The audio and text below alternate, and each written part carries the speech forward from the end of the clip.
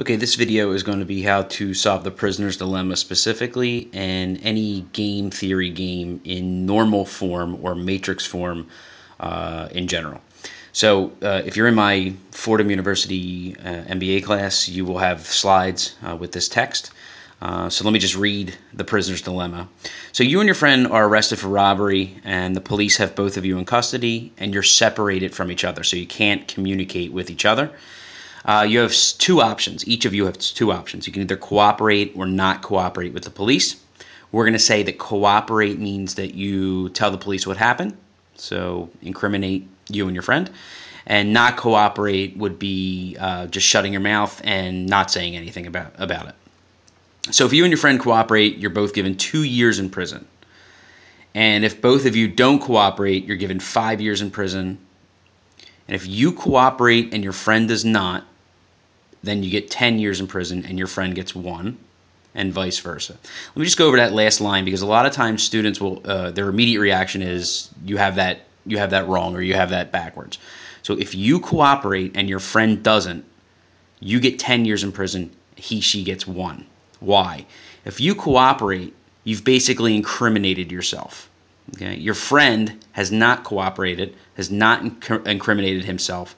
And then the assumption is maybe they don't believe you at trial if you try to testify against a friend. And so, uh, again, this is a this is a theoretical game, uh, and that would be the logic behind it. So if you're thinking that that's written incorrectly, it is actually written correctly. Okay. So uh, now let me just go over to the actual uh, the actual game. So the normal form representation of the game, and you'll notice a couple things. Um, that here. So first thing is you have player one and you have player two. And in this case, I'm just saying player one is you and player two is your friend. And you have two decisions. Each player has two decisions, C or DC, and C is cooperate, DC is don't cooperate.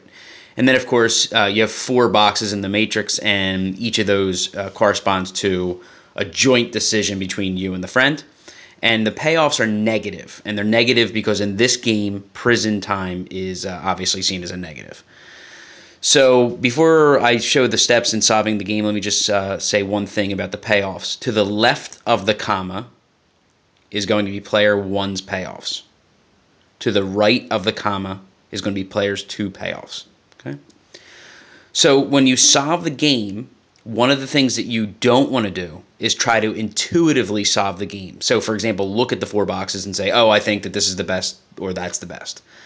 If you do that, you're you're almost you're almost always going to get the incorrect answer in terms of how you would solve for an equilibrium in a game theory game. Okay, so it may seem rational to you, but the way that we solve a game theory game is is relatively specific. So, first thing you're going to do, you're going to say, "I'm player one."